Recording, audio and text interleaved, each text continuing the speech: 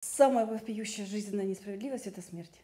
Вот если говорить, что вот здесь любовь, а вот здесь смерть, а между ними как раз жизнь, а, если человек рождается, когда влюбляется, в, в, в, неважно во что, главное, что пока у него есть любовь, он ее несет как яркую картинку, и потом, в принципе, только ее и заберет с собой.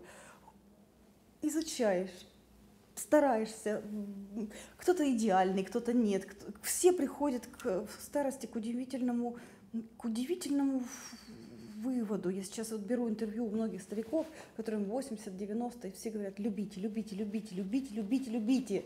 Каждый день любите, завтра может не будет так хотеться. Вот ешь пока рот свеж, вот кушай, опять пой, созидай, выбирай правильные краски. Самое главное несправедливость. Вот как? Вот только набрал всех этих ярких картинок, и по новой ты рождаешься, и по новой проходишь этот путь. Наверное, это законы Вселенной, но пока к ним трудно привыкнуть.